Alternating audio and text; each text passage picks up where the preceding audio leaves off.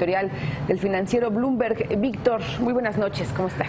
Buenas noches, Olivia. Vamos a platicar precisamente de Michoacán y de Jalisco, dos estados que están vinculados precisamente a esta situación que estamos viendo allá, allá en Tierra Caliente, los Viagras, este enfrentamiento que ha habido con fuerzas de seguridad federales.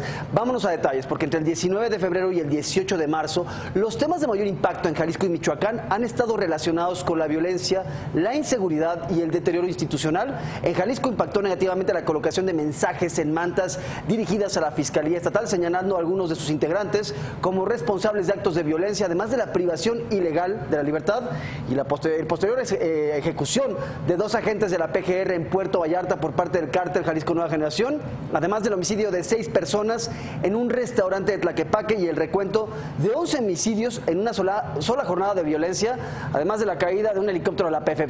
Todo esto impactó en el índice GLAC y llevó a que la calificación de Jalisco se fuera muy para abajo. Y en Michoacán se destacó también en términos negativos la sentencia en contra de Ana Patiño López, la esposa del ex líder de la familia michoacana, Servando Gómez Martínez Latuta, además de los enfrentamientos entre autoridades y presuntos delincuentes que culminaron en bloqueos en ocho municipios de la zona de Tierra Caliente y el homicidio de que fuera fundador de las autodefensas en Mujica, Jesús Alfredo Jiménez El Cuquín, así como la alerta de viaje emitida por el gobierno de Estados Unidos por violencia. En este contexto, por cierto, en la presente semana ya lo veíamos, el grupo de la delincuencia organizada denominado Los Viagra subió este video en el que acusan precisamente que hay una vinculación con el gobierno de Michoacán. Pero vámonos, vámonos a qué es lo que nos está diciendo el índice, índice GLAC esta semana, Olivia.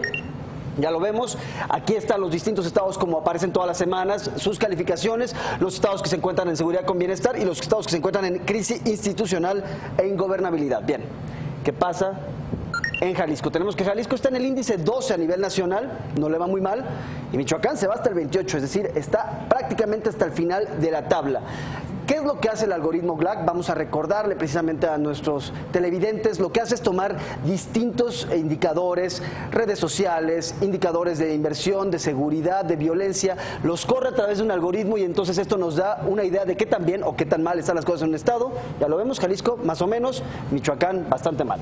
Fortalezas y debilidades, ya lo, ya lo veíamos, en Jalisco tenemos este caso del sicario del cártel de los Arellano Félix y presunto homicida del cardenal Juan Jesús Posada Campo, sufrió un del que sobrevivió. Esto pegó mucho en las redes sociales, hizo que el tema de inseguridad subiera en Jalisco, en Michoacán.